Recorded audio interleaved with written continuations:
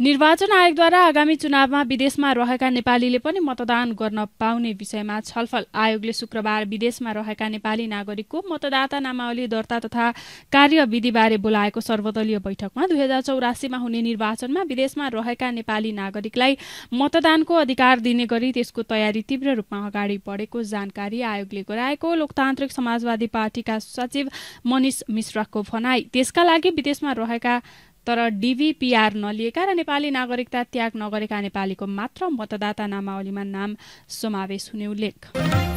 कोशी प्रदेशमा मन्त्रीमण्डल विस्तार मन्त्रीहरूको संख्या पुग्यो दस मुख्यमन्त्री केदार कार्कीले चारजना मन्त्री तथा दुईजना मन्त्री थप गर्दै मन्त्रीमण्डललाई दिए पूर्णता।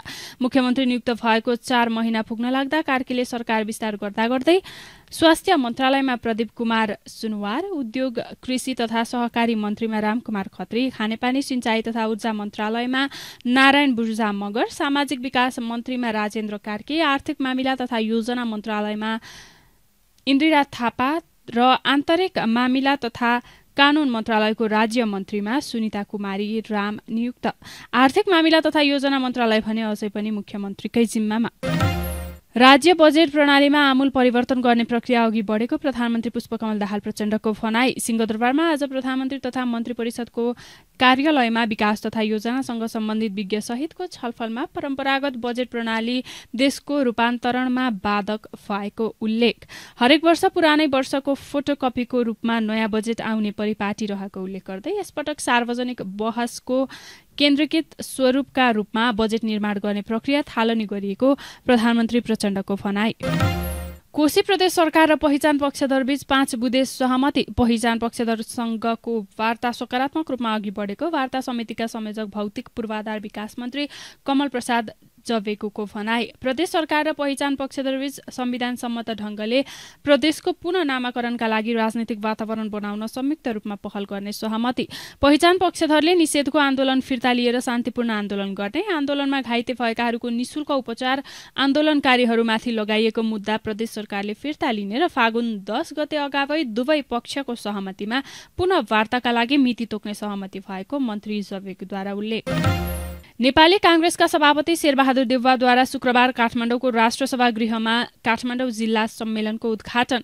उद्घाटन कार्यक्रममा कार्यकर्ताको न्यून उपस्थितिप्रति गरे व्यङ्ग्य। काठमाडौँ जिल्ला मात्र नभएर देशको राजधानी पनि भएकाले यहाँको जिल्ला सम्मेलनको राष्ट्र महत्व रहेको उनको भनाए काठमाडौँ जिल्ला सभापति सबुज बानियालाई आगामी चुनावमा टिकट दिने भन्दै जिताएर पठाउन आग्रह। अध्यागमन विभागद्वारा ई भिसा र अनलाइन भुक्तानी सेवाको सुरुवात शुक्रबार उपप्रधान एवं गृहमन्त्री नारायण काजी श्रेष्ठद्वारा सेवाको शुभारम्भ विभागद्वारा शुक्रबारदेखि अध्यागमन प्रशासनलाई पूर्ण रूपमा अनलाइन मार्फत स्वचालित सेवा प्रवाह गर्ने कार्यको थालनी। माघ महिनाबाट नै हस्तलिखित हस्ताक्षरलाई डिजिटल हस्ताक्षरको प्रयोग गर्ने गरी तयारी गरिरहेको विभागद्वारा जानकारी। उक्त सेवा शुभारम्भ भएसँगै नयाँ भिसा प्राप्त गर्न भिसाको म्याद थप गर्न पदयात्रा अनुमति प्राप्त गर्न सेवाग्राहीहरू भौतिक रूपमा अध्यागमन कार्यालयमा उपस्थित हुनुपर्ने आवेदन दिन र भुक्तानी गर्न लाइनमा बस्नुपर्ने अवस्थाको अन्त्य। भ्रष्टाचारी र ठग भीआईपी नहुने नेपाली काङ्ग्रेसका महामन्त्री गगन थापाको टिप्पणी। पार्टीको काठमाडौँ जिल्ला सम्मेलनलाई सम्बोधन गर्दै कानून सबैका लागि बराबर हुनुपर्ने उल्लेख। कानूनको शासन मान्ने काङ्ग्रेसले व्यवहारमा पनि लागू गर्नुपर्ने उनको भनाई। वीरगंजका मेयर राजेशमान सिंहले छोरीको नाममा नक्कली कागज खडा गरी नागरिकता बनाए पनि शक्तिको आडमा सजाय नभएको महामन्त्री थापाको भनाई। नक्कली कागज बनाएर नागरिकता बनाउनेलाई पाता कसेर लैजानुपर्ने उल्लेख। काङ्ग्रेसले अहिले देखिएको अलमलबाट देशलाई बाहिर निकाल्नुपर्ने महामन्त्रीको भनाई सङ्घदेखि स्थानीय तहसम्म काङ्ग्रेसले सरकारको नेतृत्व गरिरहेकाले गल्ती गर्ने छुट नभएको जिकिर। प्रहरी समायोजनको प्रक्रिया टुङ्ग्याउन प्रहरी समायोजन समितिको घोषणा गर्ने उपप्रधान एवं गृहमन्त्री नारायण काजी श्रेष्ठको भनाई। शुक्रबार अध्यागमन विभागको ई भिसा अनलाइन भुक्तानी प्रारम्भ कार्यक्रमको शुभारम्भ गर्दै केही दिनभित्र प्रहरी समायोजन समितिको घोषणा गर्ने र प्रहरी समायोजनको प्रक्रिया अघि बढाउने पक्षमा रहेको उल्लेख। नेपाल प्रहरी ऐनको विधेयक तयार भइसकेकाले अब मन्त्री परिषदबाट पास गरी संसदमा दर्ता गर्ने तयारी मन्त्रालयले गरिरहेको जानकारी।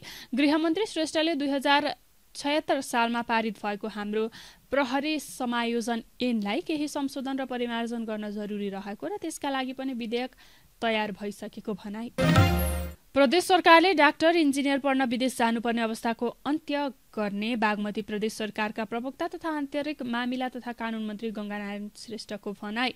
बागमती प्रदेश सरकारले शिक्षामा विशेष लगानी गरेर डाक्टर इन्जिनियर पढ्न विदेश जानुपर्ने बाध्यात्मक अवस्थाको केही वर्षभित्र अन्त्य गर्ने जिकिर। प्रदेश सरकारले स्वरोजगारमूलक प्राविधिक शिक्षामा पनि जोड दिने भनाई। जीवनोपयोगी गुणस्तरीय शिक्षाको लागि शैक्षिक नीति परिवर्तन गर्नुपर्नेमा जोड। गाउँ गाउँमा सिंहदरबार भन्ने नारा कार्यान्वयन गर्न काङ्ग्रेस लाग्नुपर्ने। नेपाली काङ्ग्रेसका नेता प्रकाश मान सिंहको भनाई। शुक्रबार नेपाली काङ्ग्रेस काठमाडौँ जिल्ला सम्मेलनको उद्घाटन गर्दै केन्द्रीकृत एकात्मक व्यवस्था र संघीयतामा फरक धेरै छ भन्ने कुरा नागरिकलाई दिने सेवा सुविधाबाट बुझाउन सक्नुपर्ने उल्लेख। संघीय कानूनहरू बनाएर कार्यान्वयन गर्न नपाएको कारणले गर्दा काम कारवाहीमा ढिलासुस्ती भइरहेको नेता सिंहको भनाई। संघीयता लागू गर्न काम गर्नुपर्ने आवश्यकता रहेको र आवश्यक संघीय कानून बनाउनका लागि सङ्घीय संसदबाट काम गर्न जरुरी रहेको जिकिर।